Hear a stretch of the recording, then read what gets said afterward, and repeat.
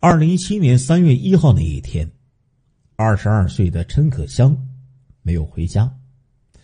陈可香出生于宜兰县东山乡，英文名字叫做闹米，是台湾的小有名气的网络模特。根据陈可香姐姐在 ins 上的文字内容推算，陈可香应为二十二周岁，虚岁二十四岁。陈可香家中除了父母啊，还有一个双胞胎的姐姐，名字叫做陈可杰。陈家姐妹相貌姣好，青春可人，在宜兰的时候就备受瞩目。之后，这对姐妹花又到台北发展。姐姐陈可杰在某珠宝店里工作，因为美貌多次被媒体采访，还被誉为全台湾最美。珠宝店员陈可香呢，则专职网络模特，偶尔呢也会接一些外拍的兼职工作，还曾经代言过电竞游戏。陈可香的社交媒体上有不少产品推广内容，文字啊都写的是详尽而周到。接外拍工作的时候，天不亮就会起床，自己化妆做准备，看得出啊。是个工作努力、认真的姑娘。案件发生时，陈可香刚刚到台北打拼过几个月的时间，在新北市板桥区租房居住。二零一七年三月一号上午十点二十九分，陈可香离开了住处。她穿着打扮相当用心，看上去似乎很开心，可是。从此之后，陈可香就失去了音讯。陈可香姐姐陈可杰不停的联络妹妹，焦急的打了几十通电话，可是妹妹就是不接电话。过了很久才回了信息，却对自己身在何处闪烁其词。不但如此，信息之中啊，措辞也和平时非常迥异。比如说，会使用“我”而不是用“我”，还频繁出现一些奇怪的注音文。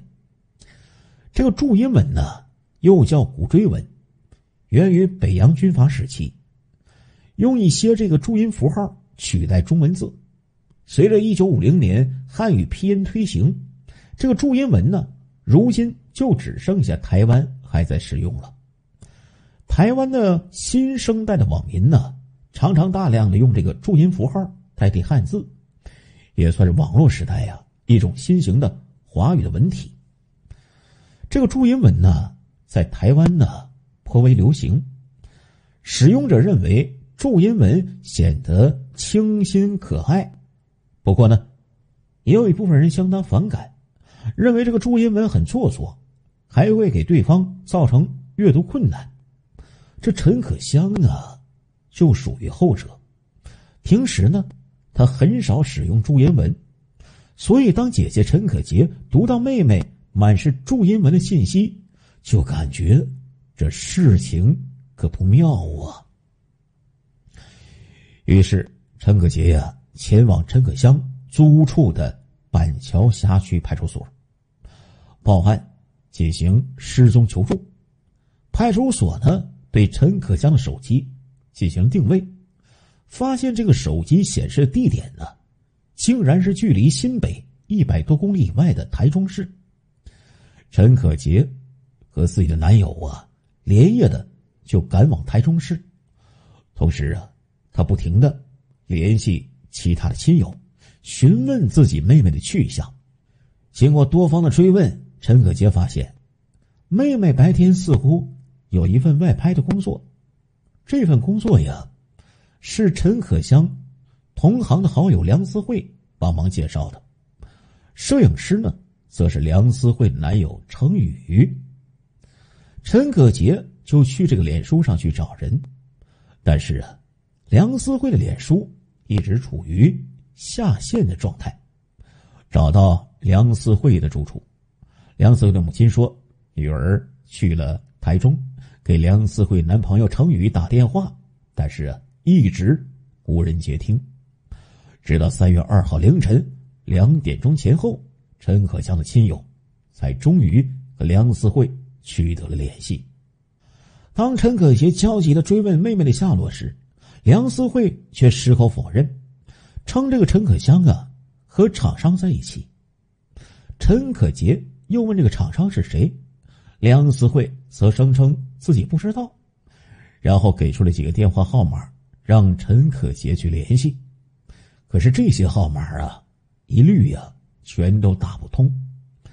当天，陈可杰和男友以及其他亲友在台北、台中两地跑，不断的去寻找线索。这些人呢，不断联系梁思慧，梁思慧则显得是既无辜又不胜其烦。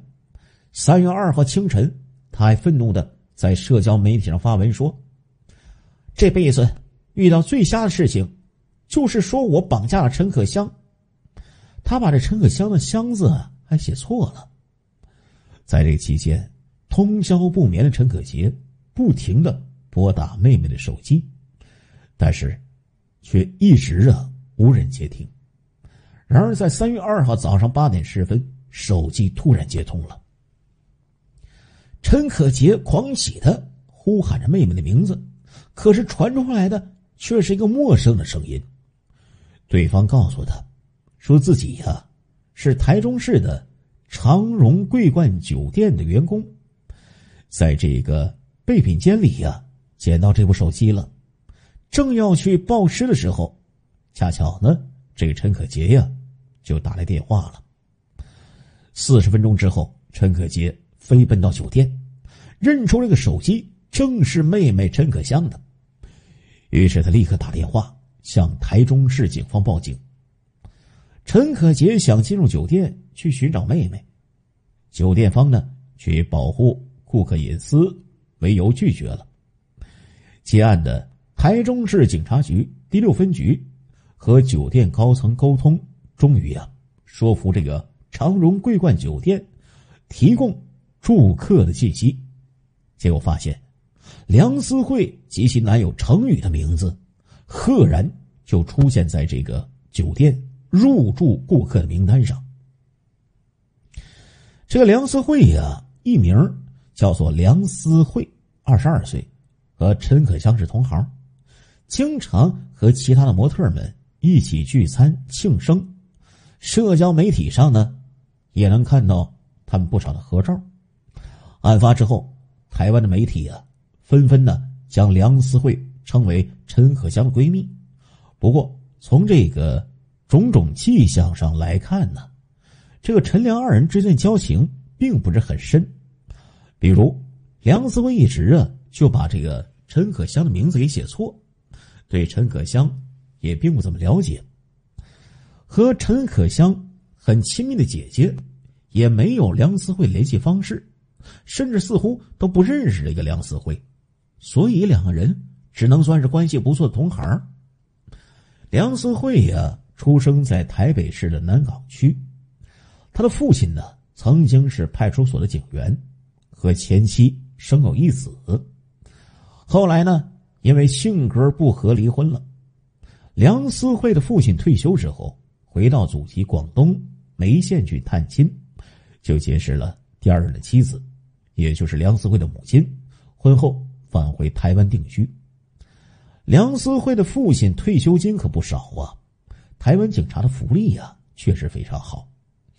梁思慧的母亲呢是个糕点师，收入也不低，家境呢算得上是宽裕。两个人呢又生了两个女儿，大女儿就是梁思慧。梁家两个女儿啊都非常漂亮，不过这个梁思慧呢不爱读书。案发的时候，他正就读于岭东科技大学进修部二专的二年级，因为没有按时注册，被学校给退了学。二零一五年的时候，梁思慧曾经和台湾知名的油管博主盛结石交往过，不过两个人分手的时候闹得很不愉快，梁思慧指责对方劈腿，还在网络上公布了前男友的手机号码。住址等个人信息之后，双方也是互撕不断呢。大概在二零一七年初，梁思慧结识了一个新男友，据说是一个开名车、持黑卡、变身都是奢侈品的二十四岁的富豪小开，更自称呢是曾经入围普利策奖和索尼世界摄影奖知名的摄影师。这个新男友啊，就是案发的时候和梁思慧一同入住。长荣桂冠酒店的程宇，梁思慧和程宇相识之后，很快两个人就同居了。二零一七年农历新年前后，梁思慧的父亲突发心肌梗塞亡故了。梁思慧办家里这个丧事的时候啊，程宇呢也都在场。至于他做了什么，之后老刘细细道来。确认住在酒店的就是梁思慧和程宇之后，台中市警方在这个系统之中啊，就查询了两人的名字，不由得吓了一跳啊！这梁思慧倒没什么案底，可是这个程宇呢，却有多次的欺诈、过失伤害的前科，还因为强奸罪正遭到台北警方通缉。三月二号中午十二点四十五分，程宇和梁思慧。从酒店退房离开了，一到门口，台中市第六分局的警员们就逮捕了两个人。之后，警方搜查两人之前入住的幺幺二二号房间，在浴室的垃圾桶里，就发现了陈可香的保健卡、驾照、身份证和钥匙。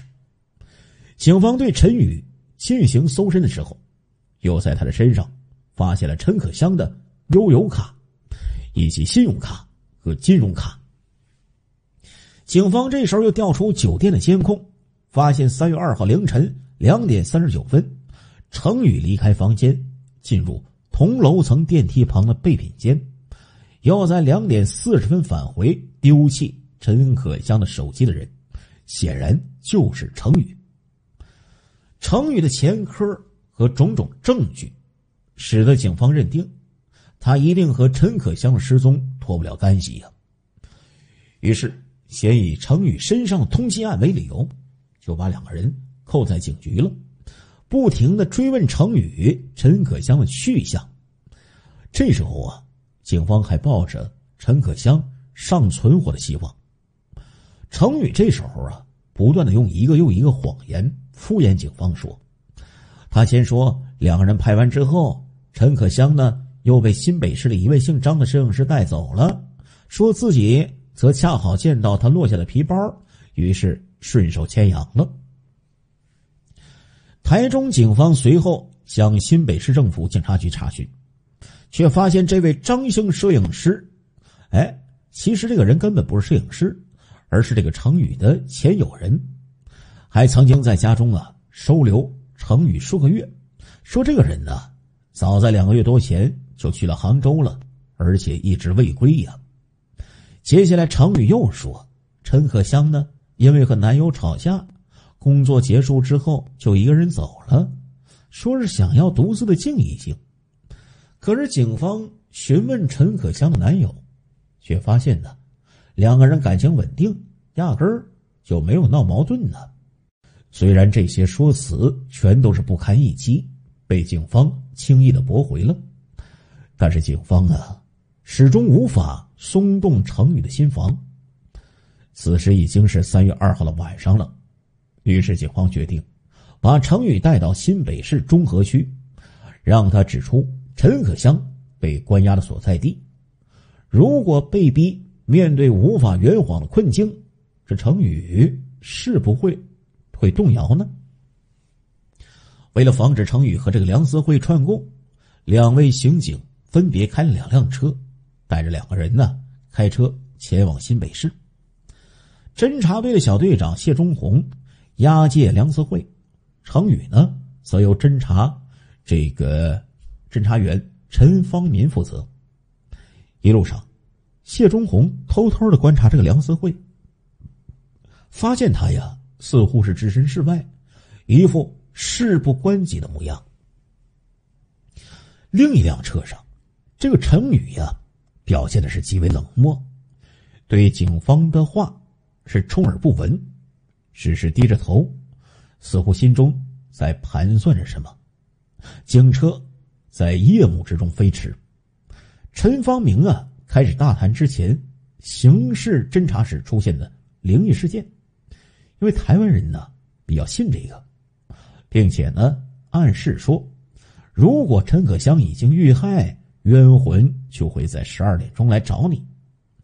隔了一会儿，这程宇呢不慌不忙的就说了：“那警察先生，我告诉你。”我把他丢在哪里了？说完这句话之后，程宇就坦白了自己的罪行，并且告诉警方说：“陈可香的尸体就在台北市的南港区。”那其中两人对话呀，老刘给大家复述一下。陈方民说：“是不是你跟女朋友这个小慧一起约被害人出来的？”程宇说：“对。”你女朋友知道陈可香被你杀害的事儿吗？知道。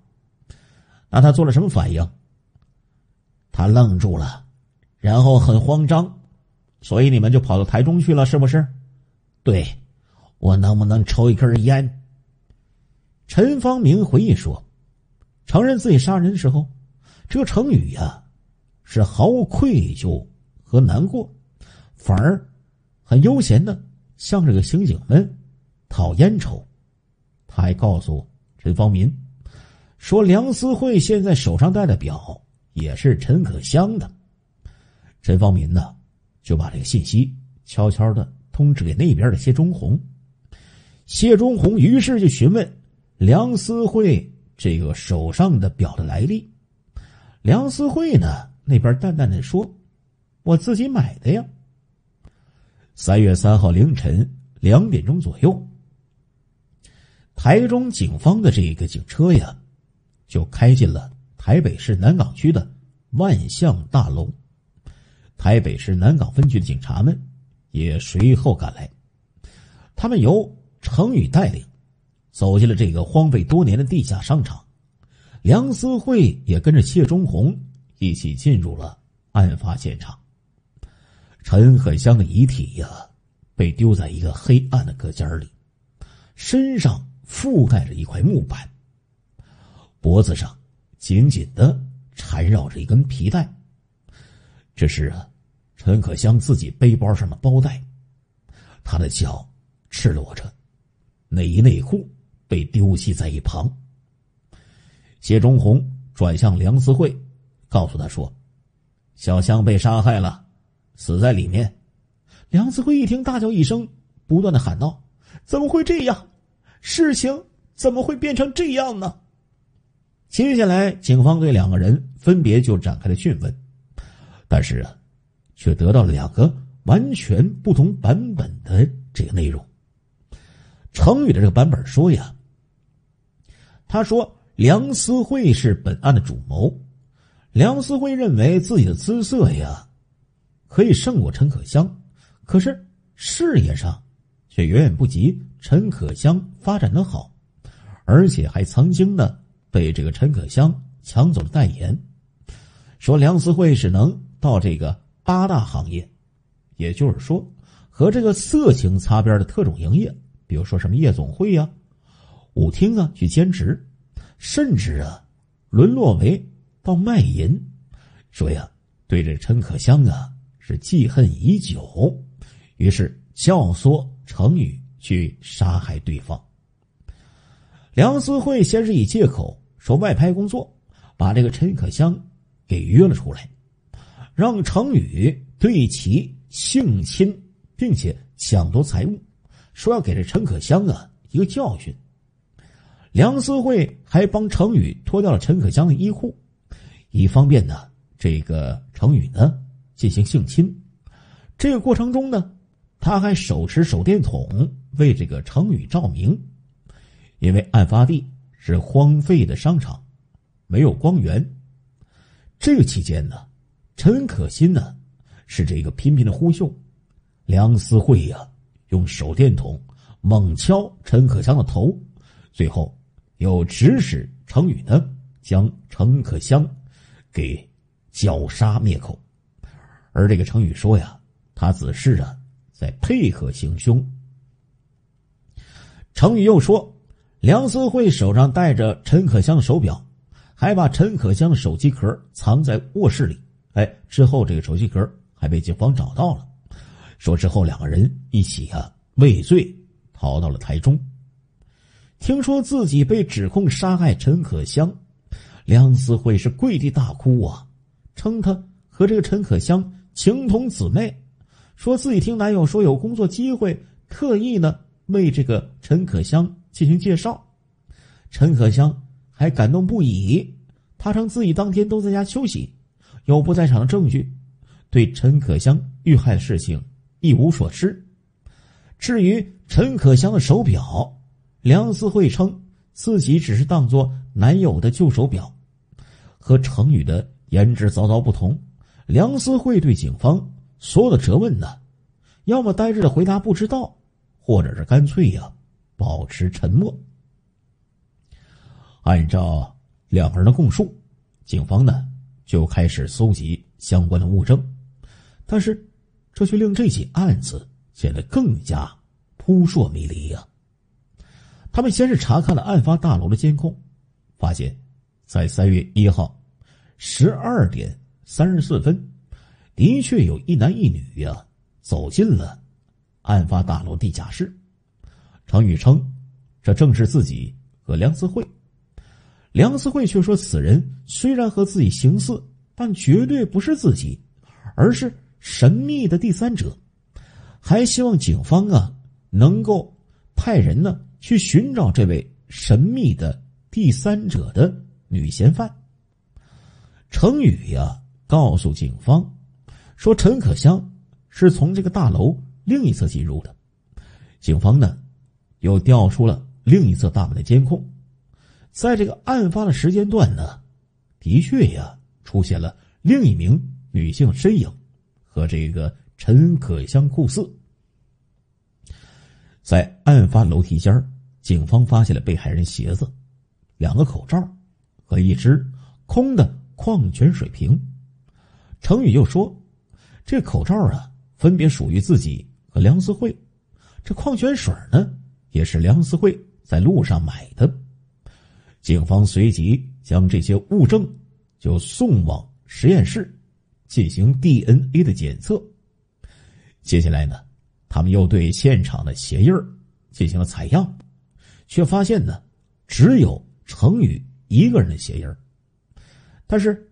梁思慧的手机信号啊，就出现在了案发现场。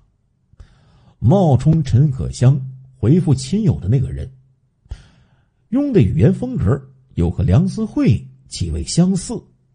面对这些矛盾的证据，警方也是疑惑不已呀。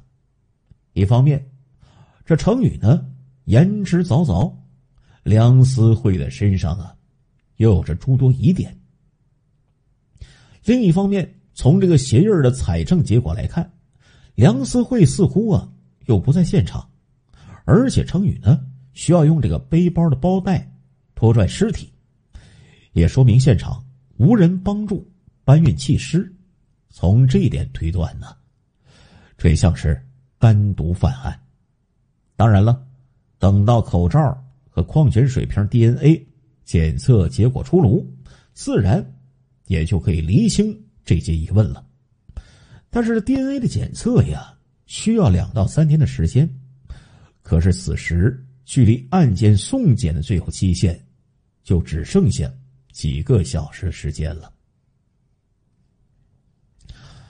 所以呢，警方对梁思慧是否涉案虽然存疑，但是因为呀无法排除他的嫌疑，于是决定将他送检。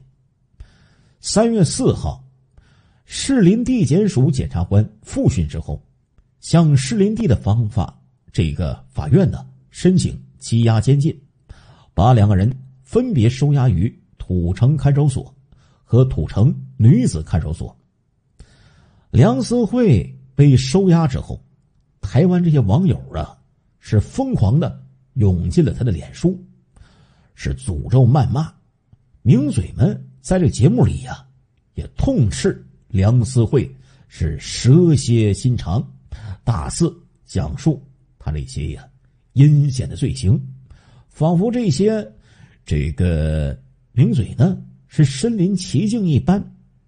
各家媒体呀，也是纷纷的扒出梁思慧的黑历史，说在这八大行业陪酒，父亲这个死不到五十天就杀人，过分的 P 图，还爆出这个梁思慧的素颜照，称其为女版蛇精男。梁思慧的前男友盛结石更是公开在这个脸书里发文说：“我从来就没有劈过腿。”那些网络上凌霸我的人呢？有真的查证过吗？没有，因为你们爱听杀人凶手，并表示自己呢早就知道梁思慧人品有问题，现在被抓真是老天有眼呐。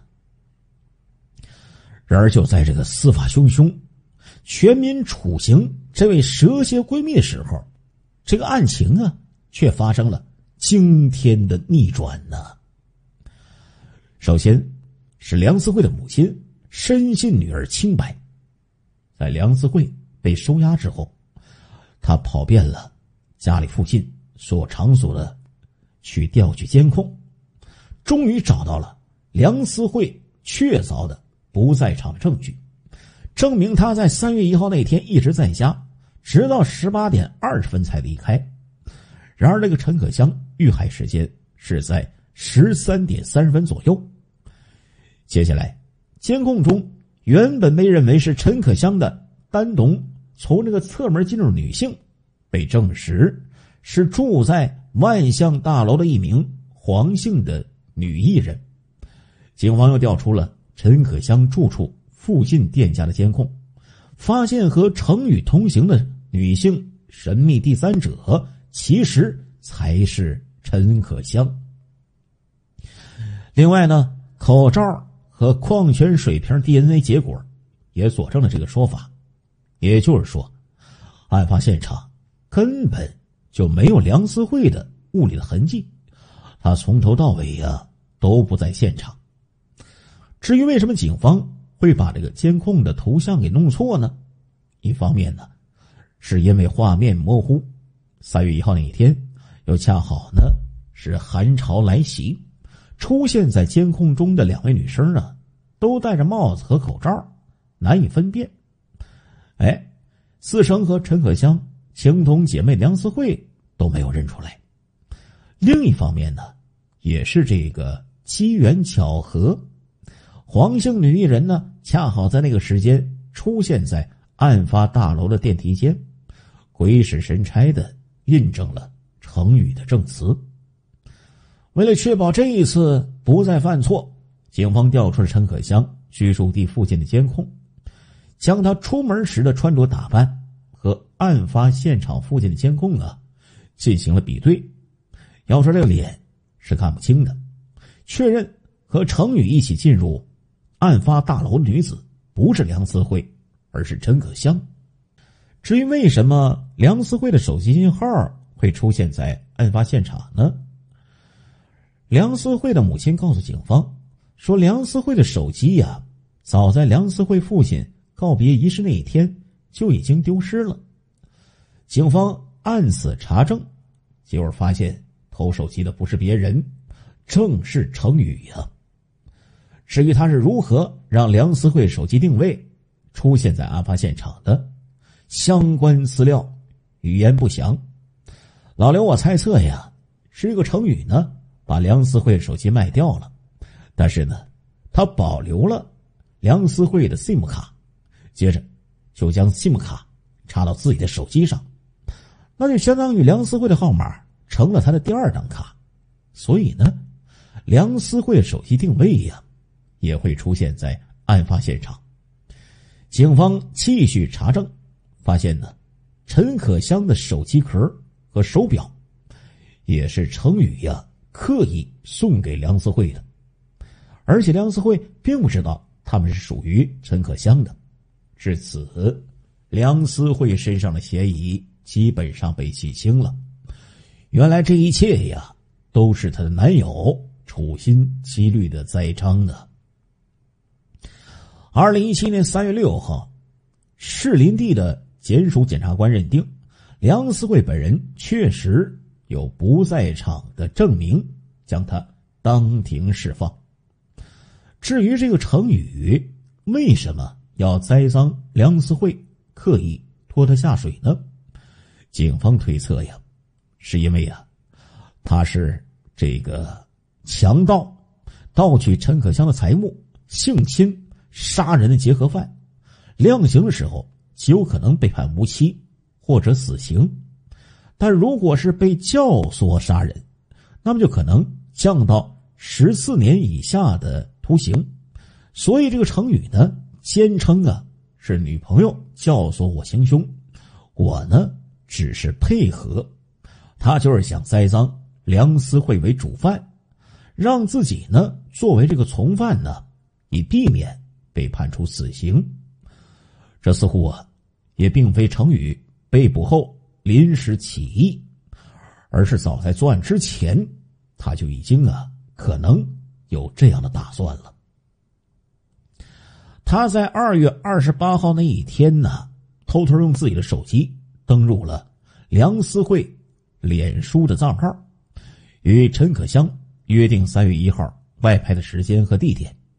三月一号十一点半左右，陈可香和这个程宇呀见面了，两个人一起步行前往拍摄地点。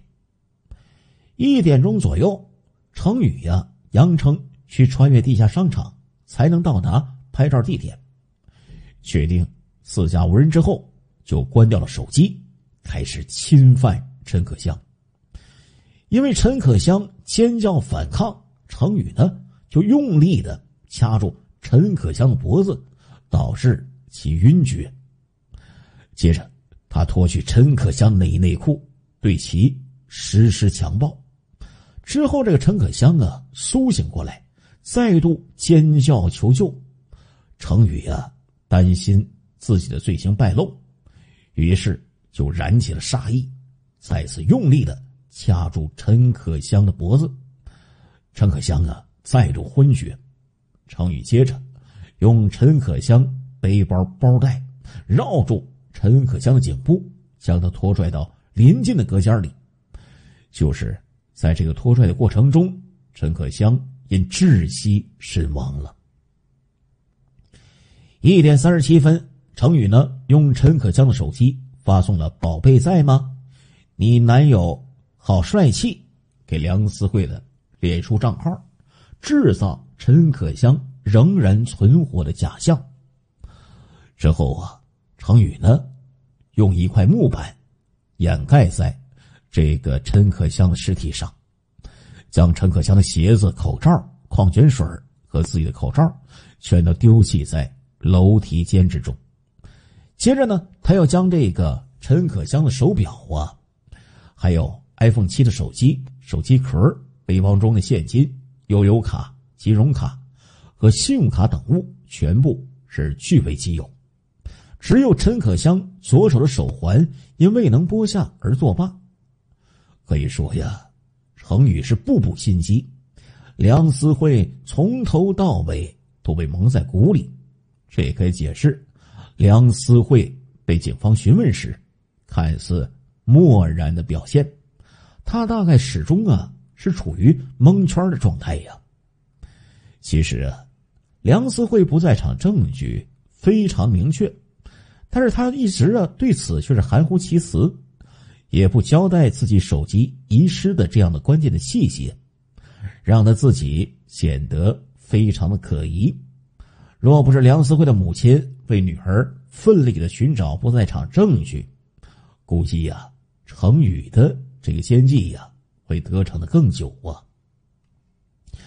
另一方面呢，梁思慧的冷血表现，也许呀，因为他的确对陈可香的遇害没有太大的情感波澜，所以呢，种种迹象表明，梁思慧呀对这个陈可香啊并不熟悉，既不了解他的人际关系，也没有从监控画面上认出陈可香。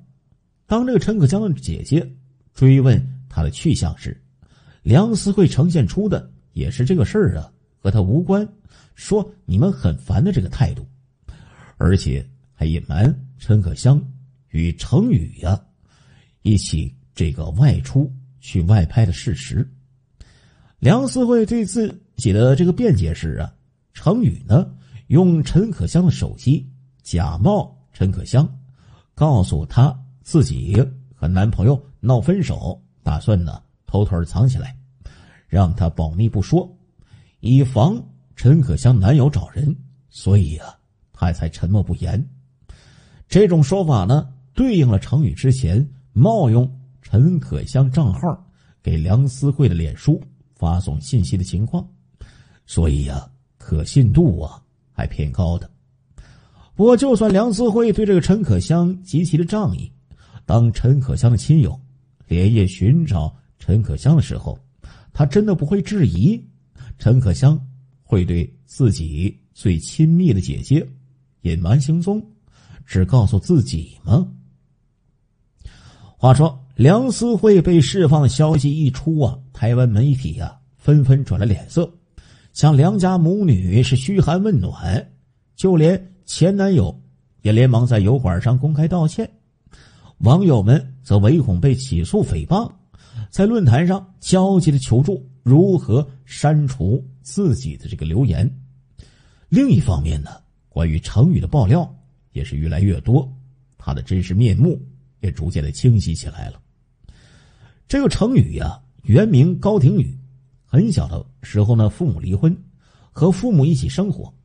这个母亲对他是极为溺爱，因为年纪轻轻，他就过多次性侵、欺诈和过失伤害的前科。